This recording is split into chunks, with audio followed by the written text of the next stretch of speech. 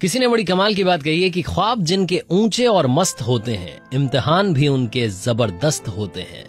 माई F से मैं हूँ आरजे कार्तिक, एक छोटी सी कहानी। एक बार एक व्यक्ति भगवान की मूर्ति के सामने बैठ करके पूजा कर रहा था, ऊपर वाले का ध्यान कर रहा था और मन ही मन ऊपर वाले को कोस रहा था। बार बार बोल रहा था कि भगवान, आपने मेरी ज़िंदगी में बहुत सारे दुख दिए, मुझे यहाँ क्यों भेजा जब इतने दुख देने थे, मुझे अपने पास बुला लो, मुझे यहाँ नहीं रहना। तभी अचानक भगवान प्रकट हो गए। और भगवान ने आकर के उसके कंधे पर हाथ रखा। वो व्यक्ति डर गया, चौंक गया। भगवान ने कहा, यकीन मानो, मैं भगवान ही हूँ। बताओ, बात क्या है? तो उस व्यक्ति ने कहा कि, भगवान, मैं परेशान हो गया हूँ। मैंने ज़िंदगी में जो जो करना चाहा, हर काम में फेल हुआ हूँ। मुझे समझ नहीं आता कि मेरी ज़िंदगी की कीमत क्या है। तो भगवान ने कहा, एक काम करते हैं। तुम ये लाल चमकदार पत्थर लेकर के जाओ और बाज़ार में इसकी सही कीमत मालूम करके लाओ। अगर तुम इसकी सही कीमत मालूम करके लाओगे तो तुम्हें बताऊँगा कि तुम्हारी ज़िंदगी की सही कीमत क्या है। बस एक बात का ध्यान रखना कि इसको बेचना मत, वापस लेकर आना।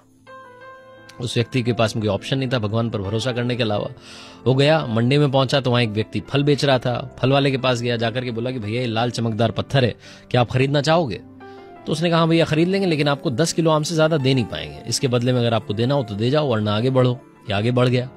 दूसरे वाले के पास गया वो सब्ज़ी बेच रहा था आलू बेच रहा था उसके पास गया बोला कि भैया ये मेरे पास में लाल चमकदार पत्थर है क्या आप खरीदेंगे? उसने कहा हाँ, खरीद लेंगे। लेकिन आपको बदले में एक बोरी आलू से ज़्यादा दे नहीं पाएँगे। अब आपको अगर ये बेचना हो तो बेचो वरना आगे बढ़ जाओ। ये वहाँ से आगे बढ़ गया। शाम का वक्त हो गया था ये मार्केट में पहुँचा तो इस सुनार की दुकान में घुस गया। वहाँ जाकर के इसने सोचा कि शायद यहाँ पर सही कीमत मालूम चलेगी। इसने सुनार को लाल चमकदार पत्थर दिखाया और पूछा कि भैया क्या आप ये खरीदेंगे? अगर खरीदेंगे तो कितने में खरीदेंगे? सुनार की आँखों में चमक आ गई। सुनार ने कहा, भैया, ये पत्थर मुझे आप पचास लाख रुपए में दे जाओ, इससे ज़्यादा रुपए दे नहीं पाऊँगा।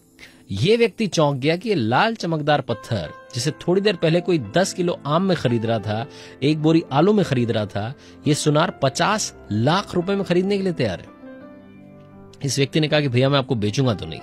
अब सुनार को लगा कि शायद ये मोल भाव करना चाह रहा है, सौदा करना चाह रहा है। तो सुनार ने कहा भैया ऐसा करते हैं ना आपकी ना मेरी, एक करोड़ रुपए फाइनल आप एक करोड़ रुपए में मुझे पत्थर देकर के चले जाओ। आपका शुक्रिया होगा मतलब ऊपर वाला आपको बहुत सारी खुशियाँ दे। तो उस व्यक्ति ने कहा कि नहीं भैया, मैं आपको बेच नहीं पाऊँगा, क्योंकि जिसने मुझे दिया है, उसने बेचने से मना किया है। तो सुनार को गुस्सा आ गया, उसने कहा, भैया, निकलो बाहर।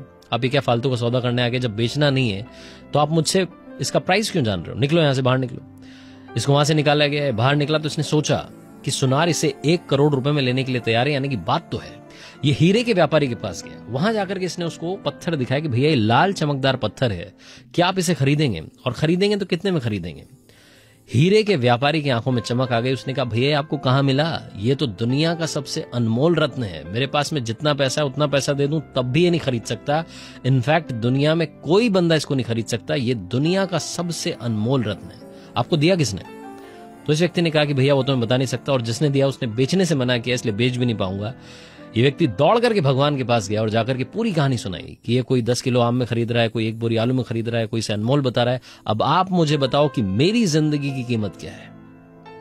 भगवान ने कहा, मैं तुझे यही समझाना चाहता था कि ये लाल चमकदार पत्थर तेरी ज़िंदगी है। किसी के लिए दस किलो आम के बराबर है, किसी के लिए एक बोरी आलू के बराबर है, किसी के लिए एक करोड़ रुपए के बराबर है और किसी के लिए अनमोल रत्न के बराबर है।